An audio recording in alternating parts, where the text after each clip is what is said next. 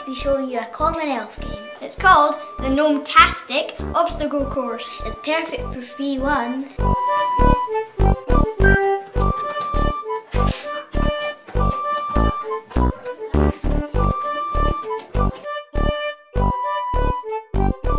First jump the hurdle.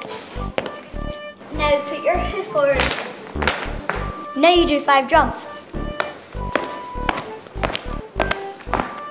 Now you do arm crawling.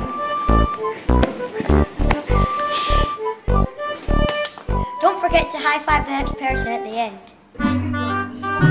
All we need now are the P1s. I like jumping over the hurdles. I like the challenges. I liked it because it was a draw. Hope you enjoyed our Common Elf games. We love the Gnome-tastic Obstacle Course! What do you think, Jojo?